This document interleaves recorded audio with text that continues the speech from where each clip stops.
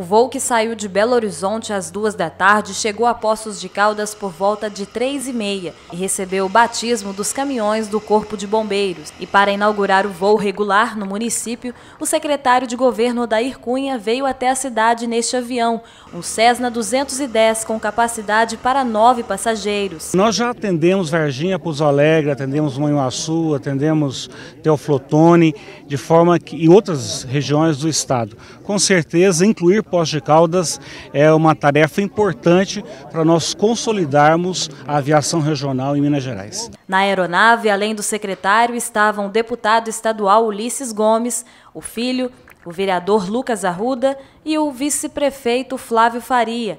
Apesar do pouco tempo de viagem, deu tempo de conversar sobre investimentos para a cidade. Hoje se torna realidade, agora um outro desafio é que essas linhas aéreas elas permaneçam em Poços de Caldas. Mas é um momento importante e esperamos que isso possa trazer mais desenvolvimento para Poços de Caldas. Já em terra firme, todos foram recepcionados pelo prefeito Sérgio Azevedo e outras autoridades.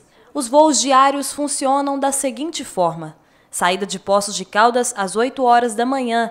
Segunda, quarta e sexta com escala em Pouso Alegre. Terça e quinta com escala em Varginha. Os preços de segunda a quinta são de 550 reais. Já na sexta-feira, 600 reais.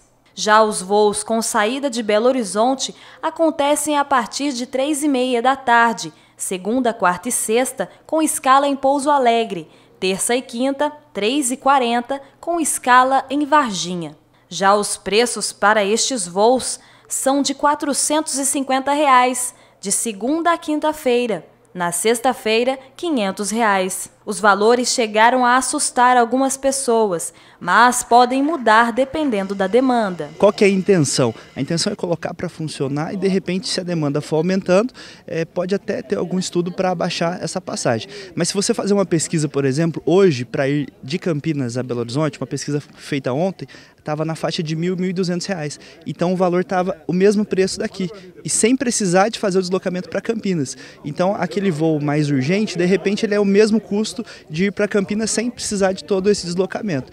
Então é, a princípio ele vai atender algumas demandas e com o tempo a gente espera que se a demanda for realmente grande, esse preço de repente possa até ter uma diminuição também.